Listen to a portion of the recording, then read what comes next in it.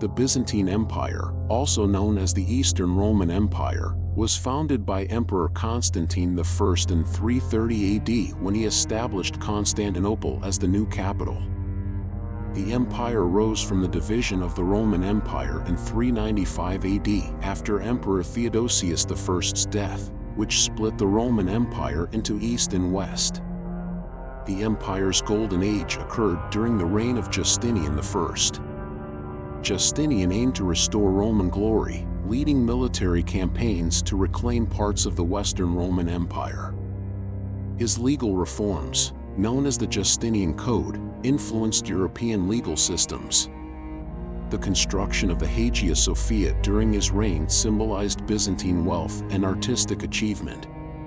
Constantinople became a cultural and economic hub, preserving classical knowledge and facilitating trade between Europe and Asia.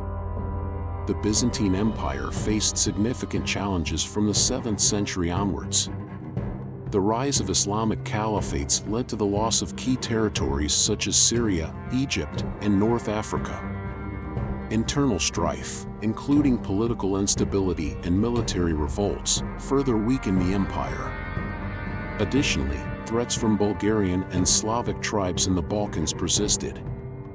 A temporary revival occurred under the Macedonian dynasty, with the empire regaining territories and experiencing a cultural renaissance. However, the empire's decline resumed with the Fourth Crusade in 1204, when Crusaders sacked Constantinople, establishing the Latin Empire and severely weakening Byzantine power. Though the Byzantines recaptured Constantinople in 1261, the empire remained fragmented and weakened. The rise of the Ottoman Turks posed a constant threat, culminating in the fall of Constantinople on May 29, 1453, when Sultan Mehmed II conquered the city, marking the end of the Byzantine Empire. The Byzantine Empire's legacy is significant, it preserved classical knowledge and contributed to art, architecture, and law, influencing the Renaissance and the modern world.